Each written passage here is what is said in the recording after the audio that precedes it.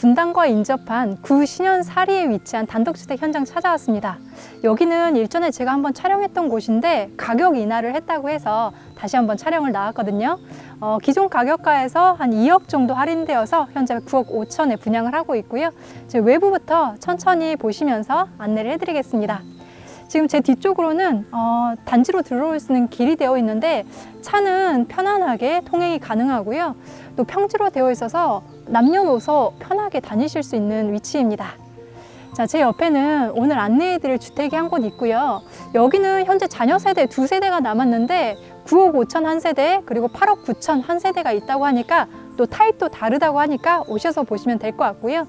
저는 오늘 실내가 층고가 아주 높은 어, 그 개방감이 아주 좋은 타입으로 안내를 해드릴 텐데요. 현재 보시면 2층 주택으로 되어 있고요. 외관은 아주 멋스러운 라임스톤으로 마감이 되어 있고 옥상까지 사용을 하실 수가 있는 주택입니다. 자 여기 보니까 담장도 아주 예쁘게 되어 있는데요. 담장 너머로 마당이 있기 때문에 외부인들과의 취선을 차단하기 위해서 이런 담장들도 설치를 해주셨고요.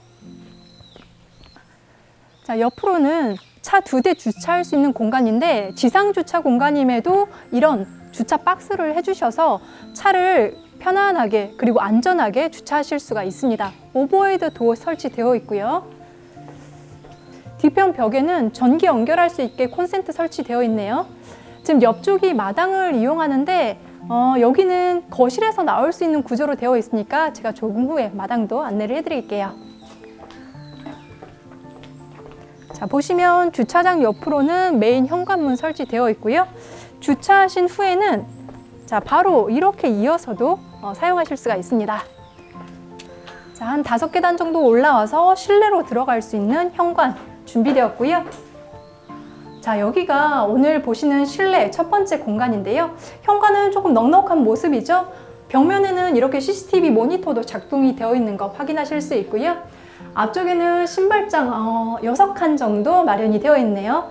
4인 가족 신발은 충분하게 넣으실 수가 있겠고요. 아래 부분도 띄움 시공되어 있어서 자주 신는 신발도 보관이 가능합니다. 아주 커다란 주문 설치되어 있는데 문 열고 한번 들어가 볼게요. 어, 문이 굉장히 큰데요. 자, 안으로는 거실과 주방 그리고 방 하나 있는 1층이 있습니다. 어, 꽤 넓은 거실로 제가 들어왔습니다. 거실은요, 무엇보다도 위쪽으로 보시면 아주 높게 뚫려 있어서 오픈형 천장으로 되어 있는데요. 아주 시원하고 개방감이 좋습니다. 굉장히 고급 주택에 온 듯한 느낌이 드는데요. 또 갤러리 같은 느낌도 들고요. 자, 전체 화이트 톤 베이스를 어, 하고 있는데 어, 실크 벽지로 마감이 되어 있고요. 어, 여기서 2층까지 다 보이도록 아주 멋지게 구조가 되어 있습니다. 자, 거실창 기준으로 남향 배치되어 있고요. 어, 여기는 또 앞쪽에 푸른 숲이 있어서 굉장히 시야가 좋습니다. TV랑 쇼파는 편하게 배치하실 수 있게 양쪽으로 TV 선들은 빠져 있어서 어, 인테리어 배치는 마음껏 하셔도 좋을 것 같습니다. 자 그리고 거실에서는 바로 바깥으로 나갈 수 있게 창호 시공되어 있는데요. 창호는 LG 하우시스 제품으로 이중 창호 되어 있고요. 거실에서 바로 마당으로 나갈 수 있는 구조입니다. 잔디보다는 이렇게 편하게 걸어 다닐 수 있게 석재로 마감이 되어 있는 마당인데요. 파고라랑 아래 야외 가구들을 두니까 굉장히 휴양지에 온 듯한 느낌도 들죠. 아, 여기서 햇빛을 가리면서 시원한 음료 한 잔 하셔도 너무 좋을 것 같고요. 마당 관리할 수 있게 수도 그리고 여기는 어, 가로등까지 설치가 되어 있는데요. 저녁에도 아주 멋질 것 같습니다. 그리고 한켠에는 그래도 땅을 조금 남겨놔서 이렇게 나무나 다른 채소 어, 예쁜 화초들을 가꿀 수 있게 좀 여유 공간들을 이쪽에다가 두셨고요. 어, 여기 공간이 조금 남으니까 여기를 활용하셔도 되겠네요. 자 그리고 이쪽은 또 주방하고 연결되는 구조이기 때문에 바베큐 파티 같은 거 하실 때 이 공간을 충분하게 활용하시면 되겠습니다. 자 다시 안으로 들어가 볼게요.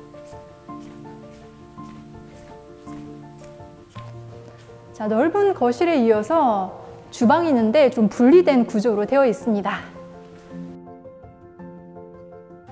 자, 여기는 식탁을 놓을 수 있는 자리인데 식탁은 8인 정도까지 충분하게 놓으실 수가 있겠고요. 조금 전 보셨던 마당으로 바로 이어지기 때문에 편하게 자유롭게 이동이 가능합니다.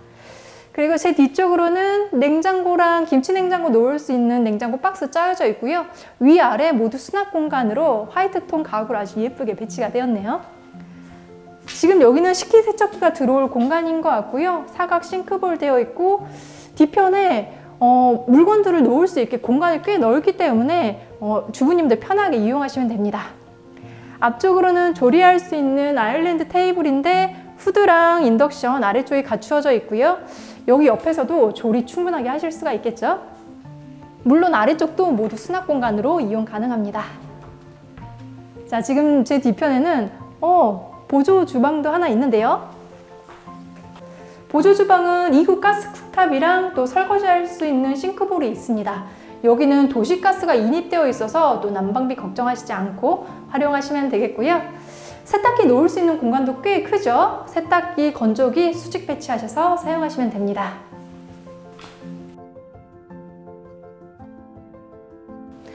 자, 1층에서는 어, 맞은편에 방도 하나 있어서 사용하시기 편리한데요.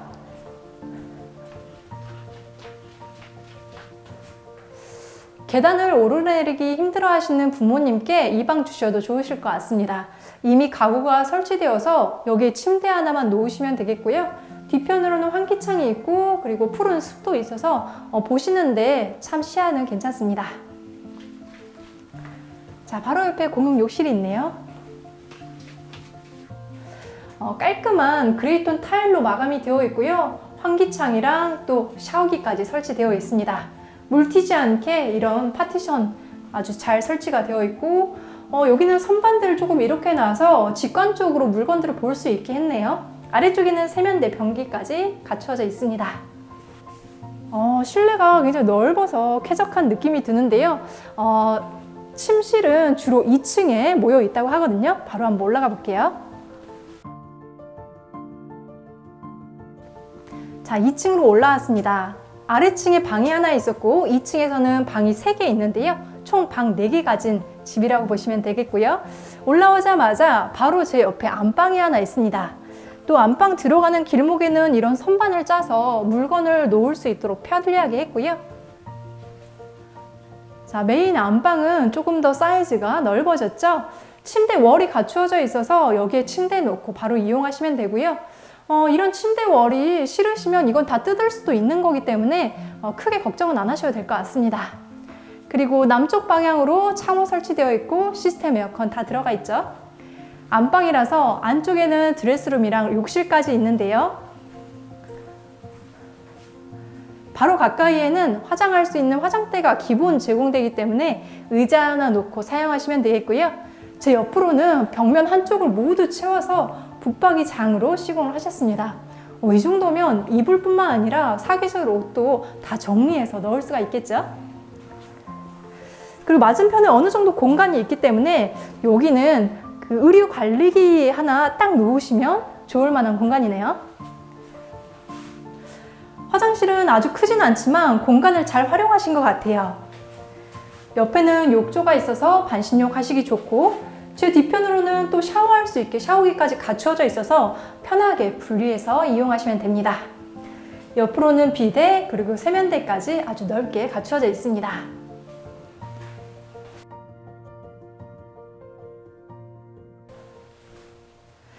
아, 안방에서는요, 바로 옆에 자그마한 테라스가 있어서 외부까지 나갈 수가 있는데요.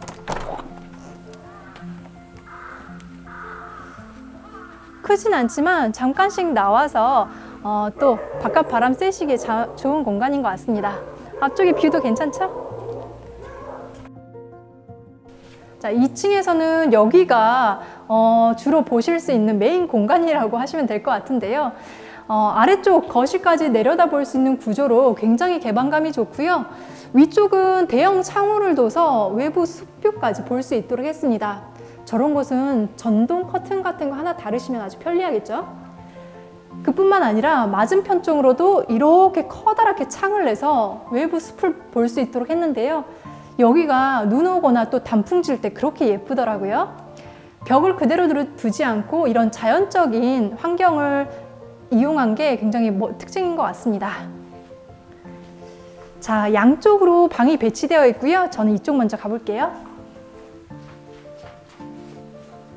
자, 자녀분들 사용하실 수 있는 작은 방입니다.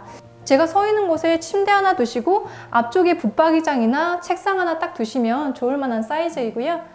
어, 답답하지 않게 양쪽으로 창을 내서 좀 시원한 감을 느낄 수 있도록 했습니다. 자, 맞은편 방 보시고 욕실 한번 보시죠. 어, 이 방은 이렇게 붙박이장을 미리 시공을 해주셨네요. 어, 여기를 드레스룸으로 어, 사용하셔도 참 좋을 것 같아요. 방 사이즈도 넉넉하고요. 어, 지금 바깥에 물 흐르는 소리도 아주 잘 들리고요. 자연 친화적인 집인 것 같은데요. 자, 다음은 욕실이네요. 자, 여기 욕실도 굉장히 깔끔하죠? 군더더기 없고 어, 마감 상태도 아주 좋습니다. 환기창이랑 샤워기 되어 있고요. 수건 넣는 장이 굉장히 커서 물건들 많이 넣을 수 있겠는데요. 위생 도기들 깔끔합니다. 전체적으로 화이트 톤인데 기둥에 이렇게 좀 짙은 톤을 넣어서 어, 컬러감이 대비 있게 좀 해주신 것 같고요. 자, 마지막 3층이 있다고 한데 한번 가볼게요. 자, 3층으로 올라왔는데요. 3층에서는 일단 미니 주방이 보이고요. 여기에 냉장고 하나 놓을 수 있는 공간이 또 따로 있습니다. 자, 여기에선요, 맛있는 음식을 만들어서 외부 옥상에서 어, 바베큐 파티 하시면 참 좋을 것 같은데요. 외부 옥상으로 바로 나가 볼게요. 자, 이렇게 제가 나왔는데요. 와, 나오니까 또 아주 시원합니다. 자, 여기는요, 어, 전체 집의 옥상 면적 그대로 사용하실 수 있도록 되어 있는데요. 여기뿐만 아니라 더 넓은 곳도 있으니까 제가 보여드리도록 하고요.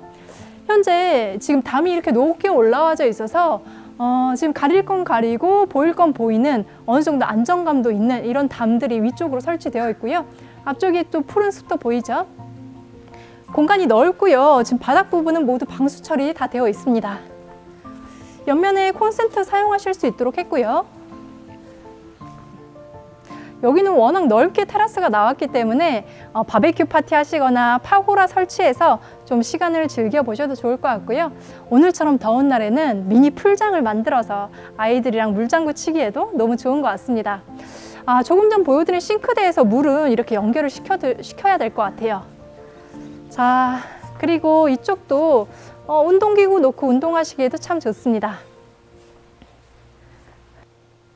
오늘은 구 신현 사리에서 실내 60평을 사용하는 9억 5천만 원 현장 안내해 드렸습니다.